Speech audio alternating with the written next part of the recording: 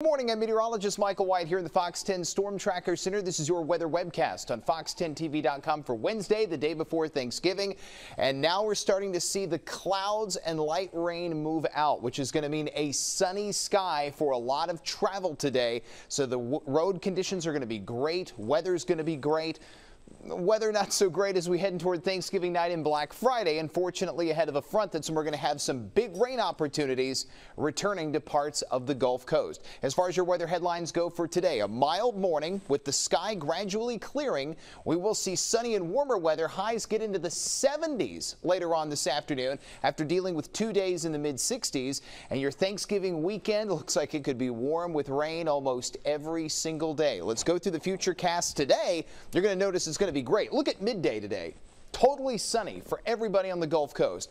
We start off uh, Thursday morning with the clouds coming back, and then Thursday at noon, we start to see the clouds thickening up.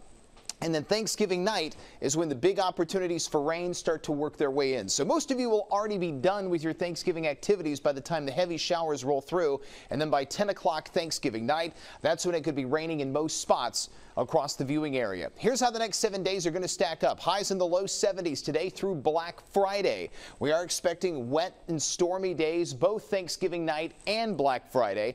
We will see the temperatures drop back to the mid to upper 60s starting Saturday through the beginning of next week. Morning temperatures get nowhere close to the 30s. We will see morning temperatures in the primarily mid to low 50s and upper 40s all the way through Tuesday of next week. We'll keep you updated on your forecast throughout the day on the Fox 10 weather app, fox10tv.com, and all of our social media channels. Have yourself a wonderful Wednesday, and if you're traveling today, drive safely.